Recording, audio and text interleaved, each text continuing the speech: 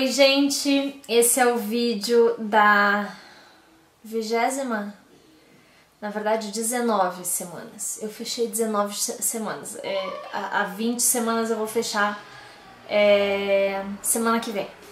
Então eu tô com 19 semanas.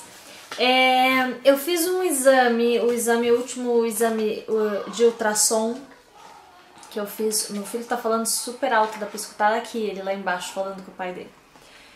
É, enfim, eu fiz o ultrassom, então, é, vou primeiro falar dos exames, aí depois eu falo mais ou menos como é que eu tô me sentindo e coisa e tal.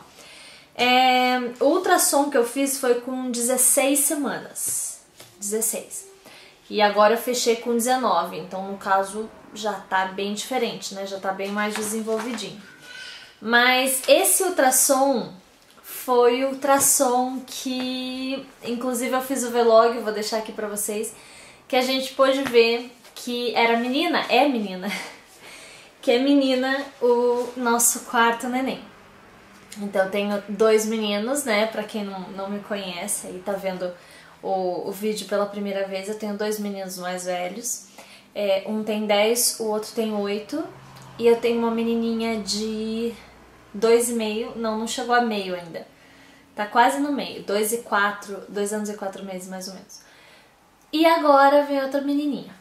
Então a gente já descobriu, o nome a gente ainda não vai falar, porque a, gente ainda na verdade não bateu o martelo, eu e o Paulo. É, a gente tá com um aí bem quase assim, digamos, 90% que seja esse nome, mas a gente ainda realmente não olhou um pro outro e falou vai ser esse, vai ser esse, pronto. Então eu vou esperar para esse dia, para quando a gente realmente estiver decidido. É... Bem, com ultrassom deu tudo certinho. Vocês viram, eu vou deixar o vídeo aqui embaixo. É... Essa é a fotinho, acho que eu até mostrei no ultrassom a fotinho dela. Tá aí. E, e daí depois, mais pra frente, acho que com 18 semanas, eu fiz é, um monte de exames. Porque eu tinha a minha médica com 19, né? Quando eu fechei 19 semanas é quando eu tive a que eu retornei na médica. Então, com 17, 18, eu fiz os exames. E assim, foi muitos exames. Foram, foram várias, vários exames. E deu tudo certinho. Tudo como devia, devia dar mesmo. O único exame que eu não fiz foi o de glicemia ainda, que a minha médica já avisou que ela vai pedir na próxima consulta, daqui a um mês. Então esse de glicemia eu vou ter que esperar ainda, eu detesto esse exame de glicemia, mas enfim, vou fazer. E esses exames aqui, a única coisa que deu, gente, de diferente foi que parece que na média de daquilo que tem, que as, que as mulheres grávidas têm, é, que é falta de vitamina, como é que é, gente? Esqueci o nome. Enfim, aquela falta de vitamina. Eu vou, vou escrever aqui embaixo no vídeo, mas é, é que dá geralmente em grávidas, né? Anemia. Anemia, princípio de anemia. Então, assim, a média da anemia parece que é contada de 11, se, se tiver de 12 até não sei quanto, não tá com anemia. E a minha deu 11, deu uma menos só. É, ela falou que não tá, que tá bem, é, porém ela já me receitou um, um remédio, acho que é a, talvez ácido fólico, não sei Vou colocar aqui embaixo também. Porque eu não sei, acho que ela me receitou ácido fólico, se eu não me engano. Ferro, né? Acho que foi isso. Mas eu vou deixar aqui embaixo o que ela me receitou. E, e ela falou antes que, que deu uma anemia realmente, porque ela falou que agora, no próximo trimestre, né, é, vai ser quando o bebê realmente vai é, vai começar a crescer e vai começar realmente a precisar de bastante vitamina. Então, se eu tô já com 11 agora é melhor cuidar. Ela disse: Eu vou, vou te passar esse, esse remédio. É, vitamina, né? Na verdade, não é um remédio. E, e, você, e a gente já cuida agora antes que esse caso. para que não, não piore, né?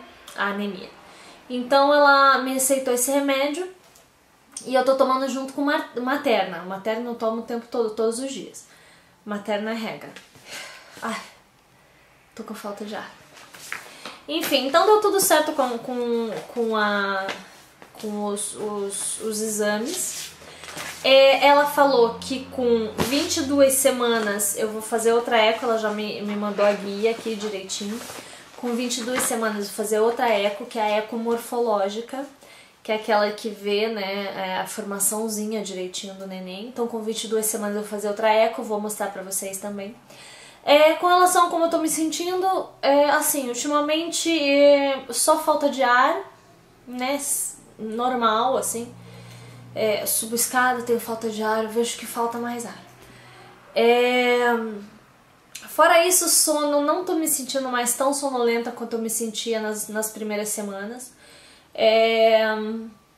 Sede, sede, eu tô sentindo muita sede, só que ainda eu, eu, eu, eu senti que diminuiu um pouco. Ó, eu tô sempre com um copinho d'água aqui. Mas eu vi que diminuiu um pouco, sabe? nas primeiras semanas eu sentia mais sede, agora eu já tô é, mas ainda acordo de madrugada para beber água, sabe, gente? Agora, por exemplo, eu tô com sede. Licença. Enfim. Ai, melhorou. então, eu acordo, então eu deixo esse copo aqui, porque eu acordo, meu, umas duas, três vezes durante a madrugada, assim, às vezes, ou às vezes eu acordo bem cedinho e não tenho, né, porque a minha cozinha fica embaixo, né, os quartos ficam em cima. Então, até eu descer, sair, principalmente nesse frio, então eu deixo esse copo aqui, aí bem cedinho de manhã eu tomo e continuo na cama ainda um tempinho. Mas é assim. É, então tô me sentindo muito bem, fora isso, fora sede e, e esse, essa falta de ar constante. Eu tô me sentindo muito bem, tô indo pra academia, não pego pesado na academia, vocês viram. É, quando eu sinto meio estranha, meio cansada tal, eu já paro, se não procuro, sabe, ir além, assim, como eu ia antes, né? Que eu sempre, né? Quando a gente vai pra academia e não tá, não tá grávida, a gente sempre busca se superar, né? Fazer um pouco mais do que pode. Bom, isso eu já não faço, na verdade eu até faço um pouquinho menos, né? Só realmente ali para manter o corpo se mexendo de alguma maneira, até porque eu, eu fico em casa, né? Geralmente, então não tenho muita movimentação, assim, quando sai, sai de carro, então é, é importante manter o corpo em movimento, assim, então é, eu uso a academia mais para isso. É, a minha barriga tá enorme e na verdade eu, eu, eu nem pensei, eu, tô, eu tô de jardineira. Eu falei, nossa, como é que eu vou mostrar a barriga de jardineira pra vocês? Mas enfim, vamos fazer. Aqui tá, ui, a minha barriga de 20, não, 19 semanas, gente. Já tá bem grandinha, né? Ó. E eu tô de, de jardineira. O meu umbigão. Aí aqui tá a barriga, ó.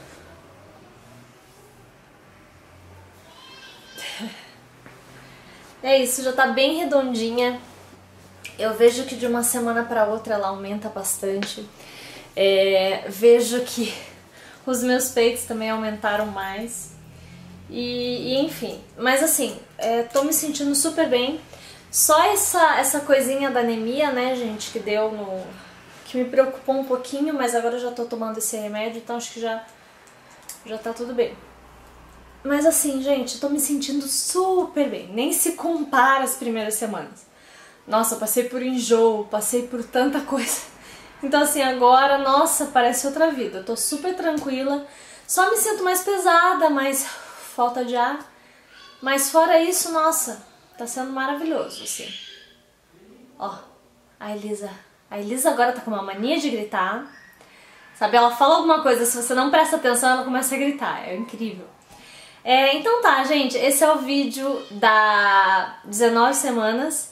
Espero que vocês tenham gostado. Eu vou fazer outro vídeo, então, quando eu fizer a eco de 22 semanas, que é a eco morfológica, eu faço outro videozinho pra vocês.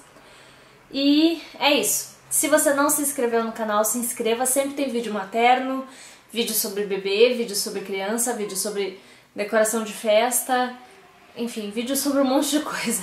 Então se você não se inscreveu, se inscreve, por favor. E até o próximo vídeo, gente. Beijo, tchau.